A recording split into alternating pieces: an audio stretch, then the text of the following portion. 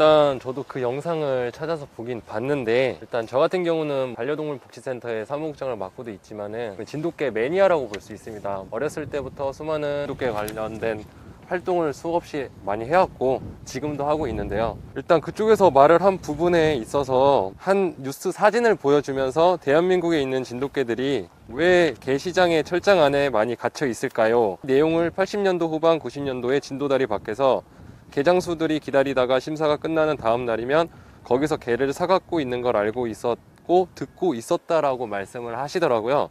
근데 이 부분에 대해서 제가 뉴스 기사를 찾아봤어요.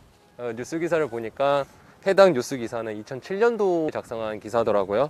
해당 뉴스 기사 내용을 보면 심사에서 합격되지 못한 개는 도태하거나 방출하는 것이 법적 원칙이나 실제로 불합격 처리되었다고 해서 바로 도태 명령서를 주는 것은 아니었다. 다음 심사에 다시 나와 보라는 식으로 권유하는 것으로 마무리를 하고 또한 불합격 처리되었다고 해서 바로 일괄 개들을 처리하는 것도 아니었다. 심사는 군에서 하지만 개의 소유자는 모두 주민들로 처리는 전적으로 주민들의 몫이었다. 이렇게 뉴스 기사가 나와 있는데요.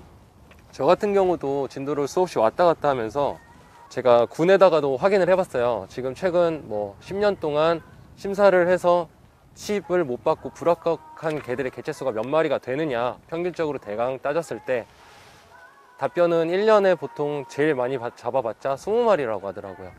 그러면은 제발 다 상식적으로 생각을 해보자고요. 1년에 20마리인데 달로 따지면은 많이 쳐도 한 달에 두 마리예요. 근데 그 두 마리를 개 식용업자들이 식용을 위해서 그 두 마리 때문에 이번 진도까지 내려와서 대교에서 대기를 타다가 가지고 간다고요? 여러분들이 보시는 분들이 생각하셨을 때 상식적으로 이게 보편 타당성이 있는 말일까 싶은 생각이 저는 개인적으로 많이 들고요. 그리고 해당 뉴스에서 제공한 그 사진을 보면은 해당 진도군에 있으신 그런 업자가 일반 주민들한테 구매를 해가지고 사갖고 가는 영상 그 사진이 찍힌 거더라고요. 근데 물론 지금 시대에 따라서 반려 문화가 성숙됨이 분명히 다르다고 저는 생각을 해요. 그때 2007년도 문화와 지금 2021년도 문화 분명히 반려 문화는 더욱 성숙, 성숙을 했고 그에 따른 그 문화에 따른 사람들의 인식 또한 많이 달라졌을 건데 지금 현재 2021년도에 그런 문제가 발생이 된다고 하면은 소위 지금 동물보호단체라는 곳에서 문제만이 아닌 진도 내부에 있는 주민들부터 먼저 문제 제시를 하지 않을까라는 생각을 하- 개인적으로 하고요.